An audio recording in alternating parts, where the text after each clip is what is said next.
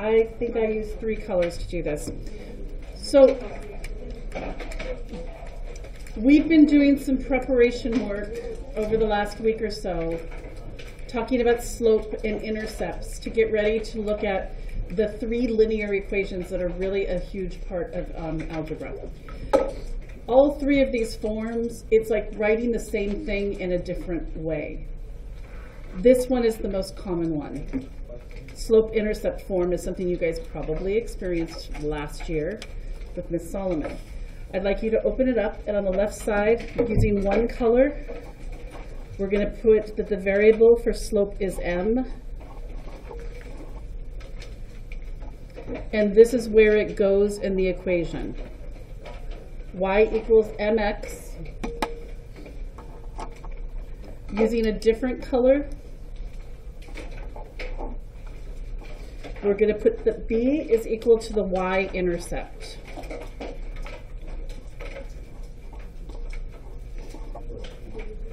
And the plus b goes here.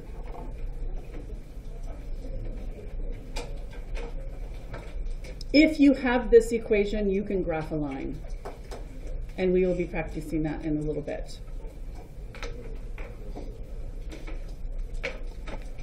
The second most common is called point slope, uh, not most common, this is probably the third of the three of them.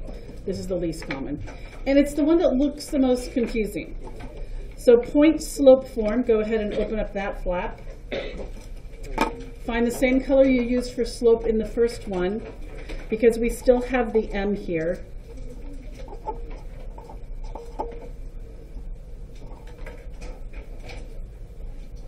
And it goes right here. Now this is called point slope form because the things that you get to put this equation together is one point on the graph, like an xy pair, and what the slope is.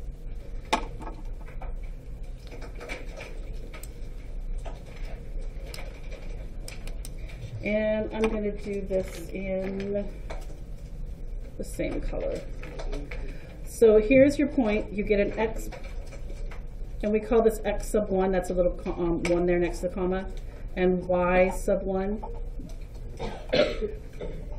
It's a point on the line.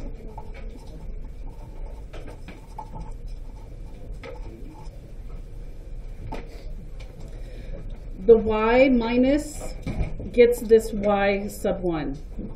And I'll give you guys an example in just a minute. And then the x goes together. So you put the other x here. And everything that I'm putting in color in these equations is a constant. It's some number that's part of it. You're not putting in y sub 1. You're putting in whatever the y is on the line. So for example, if I give you that slope is 4 and the xy pair is 2 comma 3 we would rewrite this as y minus the 3 is in the y place in the xy pair is equal to the slope times x minus this is in the x pot in the the point this point form or the point pair and I put the 2 there.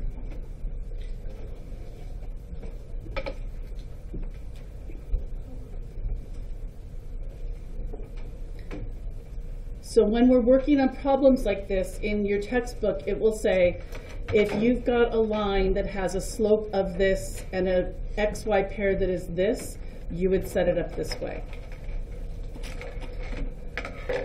It doesn't look like it, but this is a, the same line.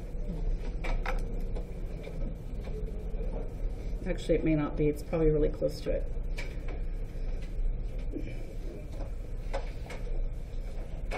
So again, when we're using these that I'm putting in in color, those are going to end up being some number in the problem. In this case, the y-intercept would be at negative 5, and the slope would be a positive 4. So you would put the negative 5 on the graph, which again, we'll be practicing this in a minute, and then you would count up 4, for your rise, and one for one, and that's how you get your line. Okay? And the last one is standard form. It's my second favorite. You do get favorites with these.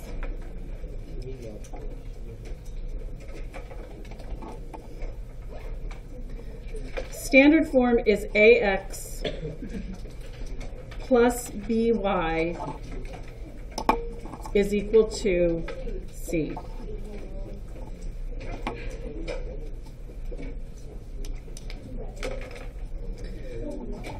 A, B, and C are integers.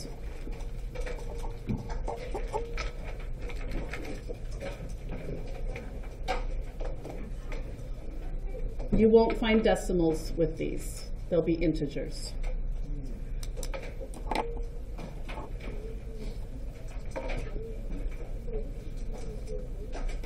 And here's a hint for the future that I want you to just tuck into this foldable. Hint for the future.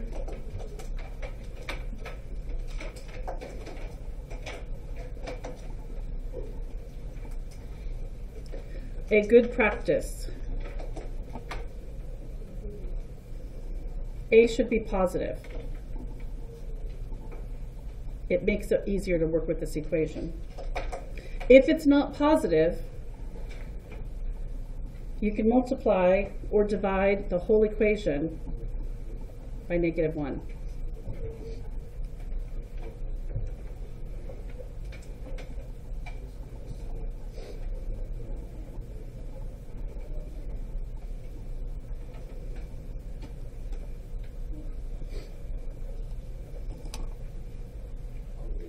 So in our example, this would be 4x plus y is equal to negative 5.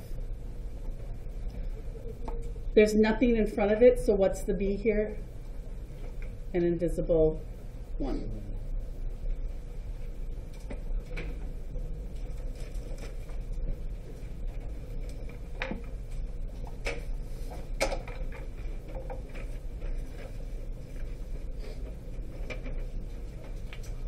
So now we're going to do a little bit of practice with each of those forms. Go ahead and get this foldable next.